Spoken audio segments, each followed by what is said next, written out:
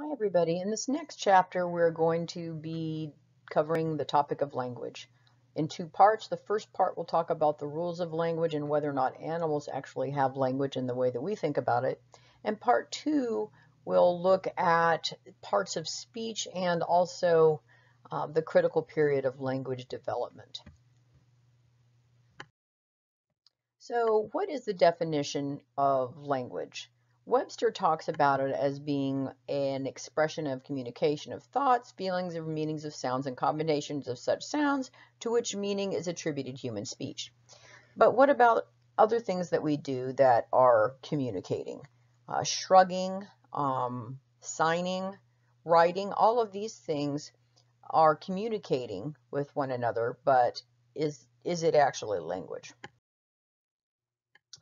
Well, we use language for lots of different things, and this is just a few of the many things. We use it to relieve nervous energy, like when you say ouch, when you stub your toe, even though nobody else is in the room, so you're not really communicating with anyone. And we also use it to control reality. One example would be um, wedding vows, where prior to saying I do, you're single. Once you say I do, then you are married. So that is actually making a commitment by using language. Another example would be if you are a witness on the witness stand, prior to you putting your hand on the Bible and, and saying you're going to tell the truth. Prior to that, whatever you say is of your own volition. After that, you are committing perjury if you lie. Language also is used to maintain social ties even we don't really expect anybody to respond. So it's when you walk down the hallway and say, how's it going? You don't really expect anybody to come up and say, well, I'm having lots of problems today. It's just a matter of trying to be polite and, and, and sometimes you just nod at them and they nod back. It's also a way to recognize identity. Um, like I put Thor in here because he has this sort of regal voice and you know that he comes from a line of royalty, which is a much different sound than if somebody is using speaking that sounds more slang-like. So the question is, we use language as an instrument of thought, or do we not? And everybody can probably relate to this idea where you have this sort of inner dialogue going on. The example I put here is when I go to the parking structure and I'm thinking in my head, where did I park the car? Where did I park the car? This is a running dialogue in my head, although I'm not actually saying anything. So most people report that they think in words like this. And so John Watson actually started um, thinking about language as being subvocal speech, um, an idea that was later refuted because you can be thinking and not necessarily be thinking in, in words. So are language and thought synonymous? Meaning is, is, is one just like the other? And probably not. There are some things that we think about that um, you really can't put into words. There are several listed here, but one that we have talked about in class before is if I ask you to describe your mother's face, it's very difficult to put a facial description into words because we normally don't think about it in words. Another would be asking someone to describe music. And if I ask you to describe your favorite music, people will say things like it's mellow, it's beboppy, it's smooth, but none of those things really get you to the point where the person can hear the music in and of itself. So language and thought seem to be somewhat um, separate, but also are interdependent. So this idea of lingu linguistic relativism is this idea that thought shapes language and language shapes thought. So they've done experiments where people have been asked to argue against their actual viewpoint on something and after they have constructed an argument and had to argue for something that they don't agree with, they start to agree with it a little bit more. So it's this idea that what I say influences how I think and what I think influences what I say. So this is called the Sapir-Whorf hypothesis, which is that language and thought are interdependent.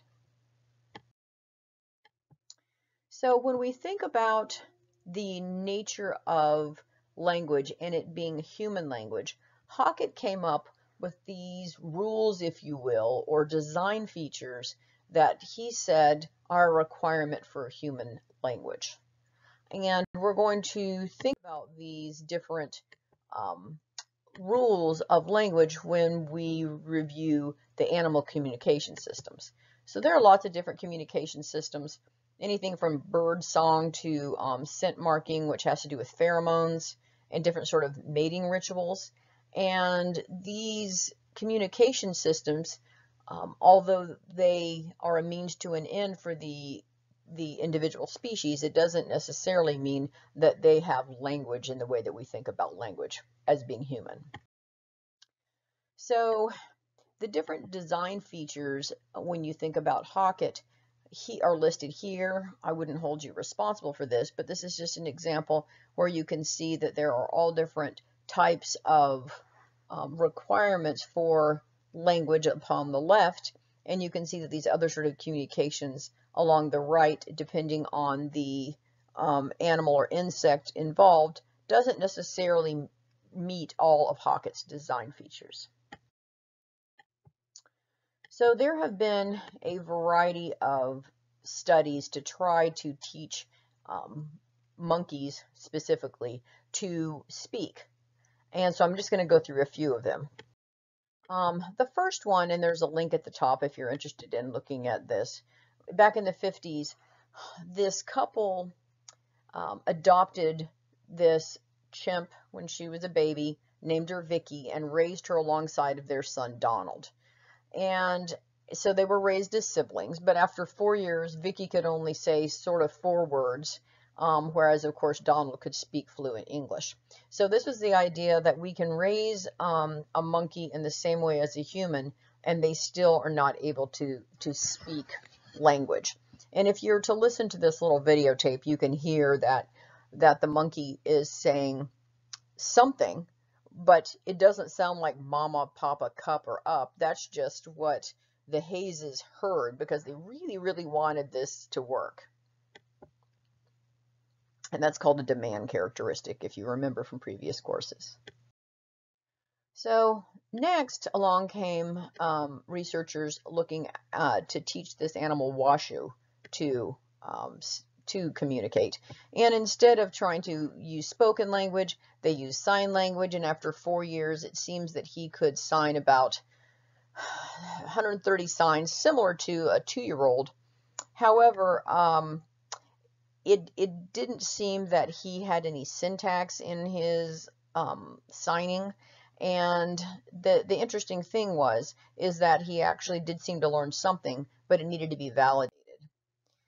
Um, so along comes um, Georgia State, where they actually raised um, a variety of monkeys, Lana and, and Kanzi specifically, and they ended up being really smart animals. And what they had them do is learn this little keyboard that you can see on the bottom left um, that had a bunch of icons on it. And those icons were um, associated with different meanings that the animals had to learn and they could construct rudimentary sentences with it. So it suggested that they could learn as well.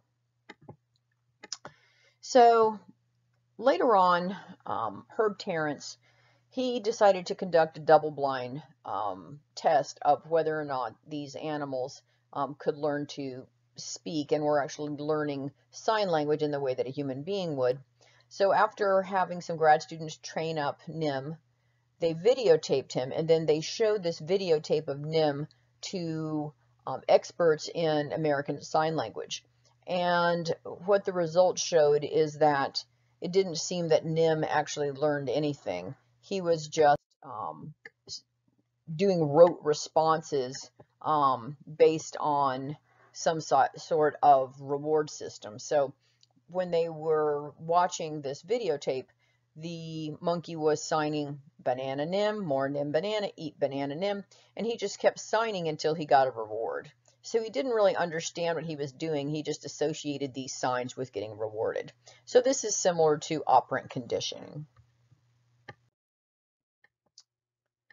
And then finally, um, Francine Patterson raised um, Koko, who was the subject of some Seinfeld episodes, if you want to Google that. It was really funny. And she tried to teach Koko to teach um, to to sign as well. He was able to make some novel sentences where he could sign white and tiger together to stand for zebra. However, the the grammar was very limited, so it suggested that he was not able to um, speak or communicate um, better than the previous attempts at teaching animals. So the question is, do animals have language? And it depends on who you ask. Uh, the current view is that animal language is different than human language, and animal language has evolutionary roots um, in humans, very rudimentary, and it seems that maybe animals um, can receive and understand language like we found out at the Language Research Center. However, their production and the tracks and the way that their mouth is shaped is not conducive to um, vocalized human speech.